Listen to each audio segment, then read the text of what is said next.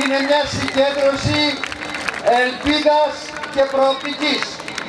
Είναι μια συγκέντρωση αφετηρίας σε μια μεγάλη εξόρμηση που ξεκινάει με την πρόταση μορφής και με στόχο τη μεγάλη ανατροπή στη χώρα μας για την ανόρθωση, για την ανασυγκρότηση και τη σοσιαλιστική προοπτική σε αυτή τη χώρα.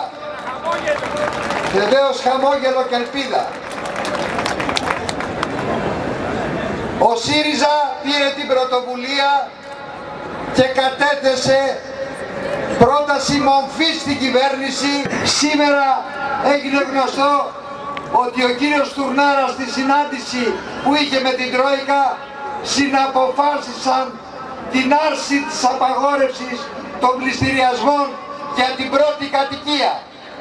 Ξέρετε τι σημαίνει αυτό; Δεκάδες χιλιάδες οικογένειες από την πρώτη πρώτου 14 θα αναγκαστούν να χάσουν τη μόνη κατοικία που διαθέτουν, το μόνο σπίτι που διαθέτουν για να βρεθούν στο δρόμο ξεσπιτωμένες και συχνά πολλές από αυτές να είναι άνεργες και άνεργα και τα παιδιά τους.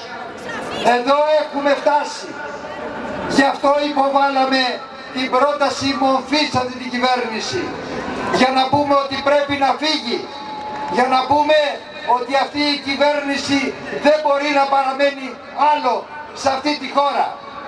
Υποβάλαμε πρόταση μορφής στην κυβέρνηση για να πούμε ότι δεν ανεχόμαστε άλλο αυτή τη μονοφωνική προπαγάνδα που ασκούν συστηματικά από το πρωί μέχρι το βράδυ τα τηλεοπτικά κανάλια της διαπλοκής. Καλούμε από αυτό το βήμα όλη τη ριζοσπαστική αριστερά, όλες τις δυνάμεις της ριζοσπαστικής αριστεράς, κάθε ανέτακτο αριστερό, όλοι να διαμορφώσουμε ένα κοινό πρόγραμμα, ένα κοινό μέτωπο για ένα μεγάλο εργατικό, ενωτικό, λαϊκό κίνημα που θα φέρει ξανά το χαμόγελο και την ελπίδα στην Ελλάδα. Γεια σας και με την νίκη.